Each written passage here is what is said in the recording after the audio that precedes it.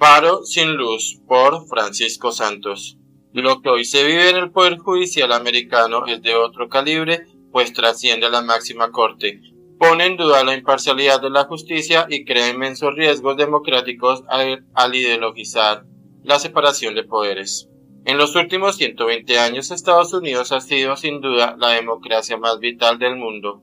Es más, sus muertos en la Primera y la Segunda Guerra Mundial, en la Guerra de Corea y la defensa de Occidente durante la Guerra Fría facilitaron la consolidación de libertades, democracia y desarrollo en el mundo liberal.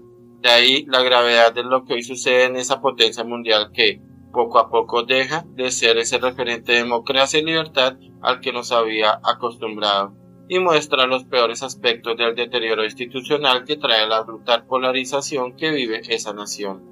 No me refiero a Trump o al Congreso, pues esa situación ya lleva más de seis años. Es el Poder Judicial el que ahora se ve enfrascado en esa disputa ideológica. Esto no es nuevo. No se puede olvidar cuando el Senado, con el apoyo de una parte de los parlamentarios republicanos, rechazó la nominación que hizo Ronald Reagan de Robert Bohr a la Corte Suprema. Pero lo que hoy se vive es el Poder Judicial americano es de otro calibre, pues trasciende a la máxima corte, pone en duda la imparcialidad de la justicia y crea inmensos riesgos democráticos al ideologizar la separación de poderes. La acusación judicial por parte de un fiscal de Nueva York de Donald Trump es una sintonía clara de esa nueva batalla política. El efecto de esta acusación es indudable. Fortalece a Trump como candidato a la presidencia por el Partido Republicano y casi que garantiza un triunfo demócrata en las elecciones del 2024 si el expresidente es su rival. Claro, Nadie puede estar por encima de la ley, pero muchos analistas liberales e independientes dicen que la acusación deja mucho que desear. Otro de los casos tiene que ver con los jueces federales.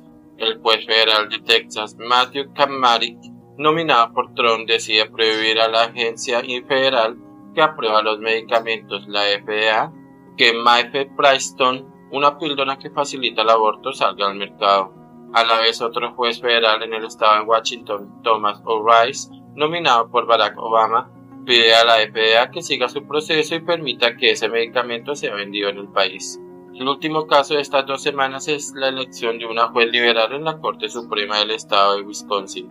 En juego estaba la mayoría conservadora en ese tribunal y el debate fue feroz.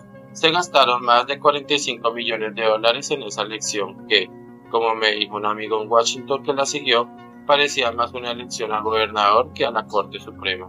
El tema, como en el caso anterior, era defender el derecho al aborto. Con mayoría conservadora en ese tribunal se mantendría la prohibición que hoy rige, basada en una ley de hace dos siglos.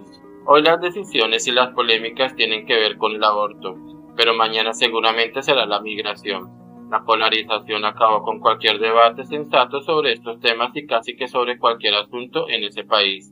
Es más, Incluso en política exterior ya se ve esa fractura. Tanto así que hoy hay sectores extremos del Partido Republicano que prefieren a Putin sobre Zelensky y otros que quieren acabar con el apoyo a Ucrania. El gran responsable de esta tragedia es el Congreso, que nunca abordó y decidió sobre estos temas. La Corte Suprema ha fallado sobre el aborto, a favor en 1973 y en contra el año pasado, porque el Congreso no ha logrado en estos 50 años decidir de una manera u otra en este tema. Se lo dejó al Poder Judicial. Hoy se ha vuelto actor político e ideológico con todo tipo de consecuencias. Ahí viene el deterioro institucional y el daño a la democracia. Cuando un juez decide basado en su creencia ideológica y no en su respeto a la ley, se acaba la seguridad jurídica, que es el pilar de la democracia.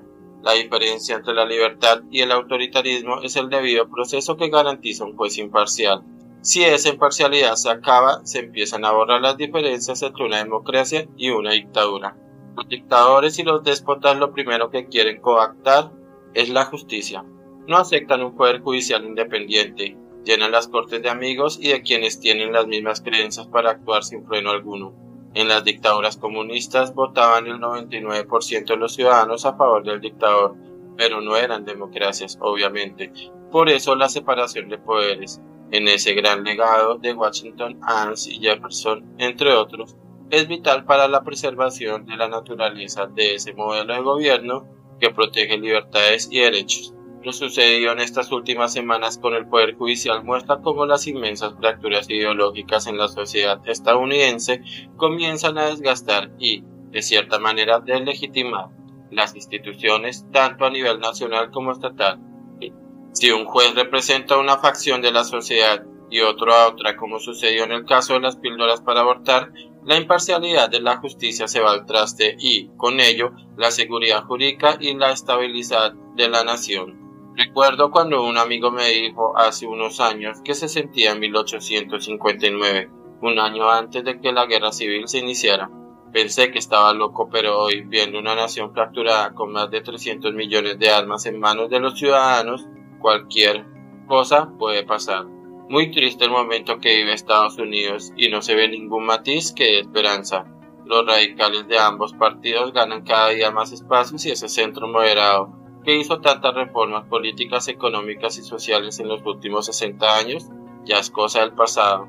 Hoy, esa nación, que era la luz de esperanza que iluminaba al mundo en los momentos más oscuros, en plena guerra en Ucrania y con la amenaza de la hegemonía china que amenaza las libertades en el planeta, más parece un viejo faro apagado que los turistas visitan para recordar la historia.